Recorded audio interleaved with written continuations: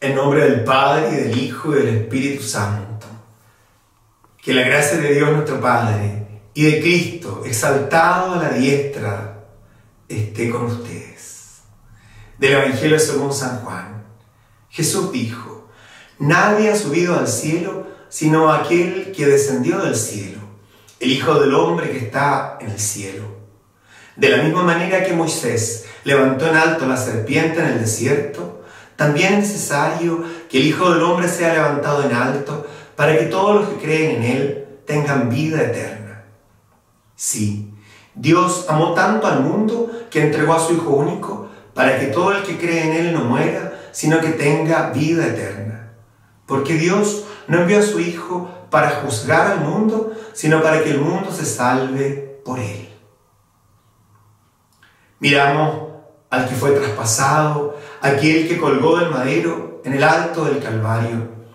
Era necesario que fuera levantado en alto para que desde allí, en lo que parecía un instrumento de tortura, y lo era, en lo que parecía la conclusión y el fracaso de una experiencia que quedaba inconclusa, y humanamente lo era, comenzara a reinar en otra dimensión el Cristo de Dios exaltado en alto, logró que todos en adelante, los que creyeran en Él, tuvieran acceso a la vida eterna.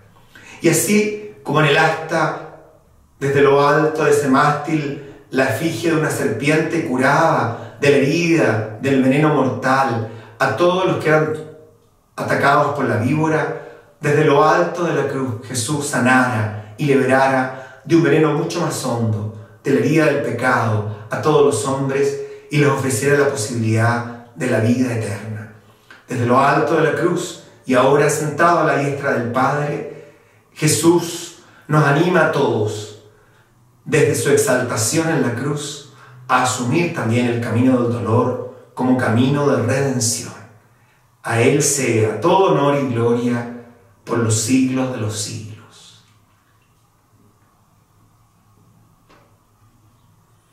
Creo, Jesús mío, que estás real y verdaderamente en el cielo y en el santísimo sacramento del altar.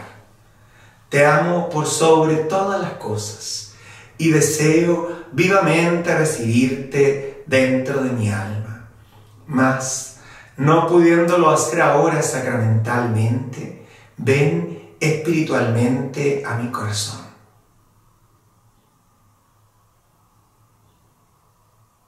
y como si ya te hubiese recibido, te abrazo y me uno del todo a ti. Señor, no permitas que me separe de ti. Que le bendiga Dios Todopoderoso, el que es Padre, Hijo y Espíritu Santo